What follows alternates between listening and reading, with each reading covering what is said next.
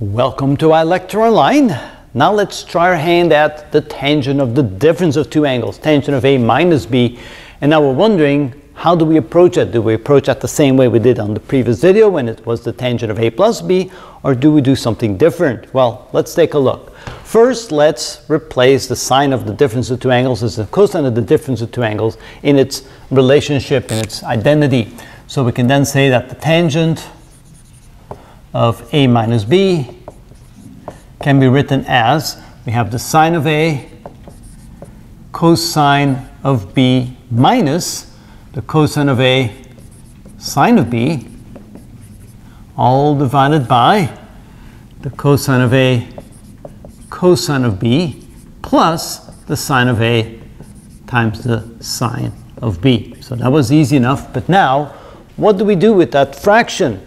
It turns out, again, you're trying to get rid of all the, all the cosines of A and the cosines of B, and to do that, we do the exact same thing as we did in the previous video. We multiply both the numerator and the denominator by 1 over the cosine of A times the cosine of B. That way we eliminate all the cosines in there. And then what we end up with, well, let's see what we get. So this is equal to the sine, oh, I don't need to use red here.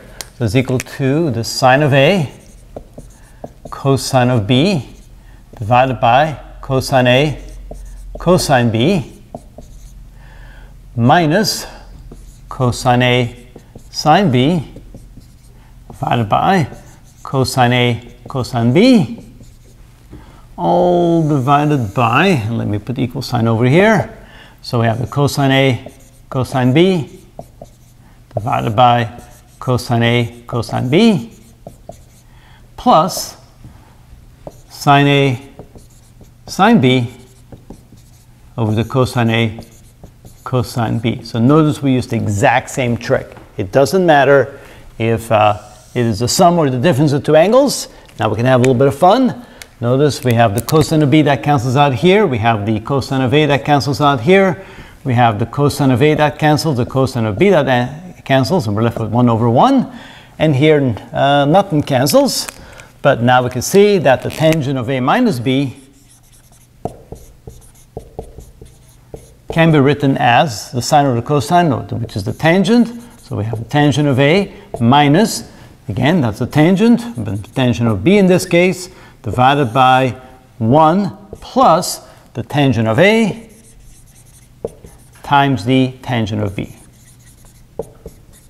And that's how we found the identity for the tangent of the difference of two angles. We use the exact same trick for both the tangent of the sum and the tangent of the difference of two angles. And that is how it's done.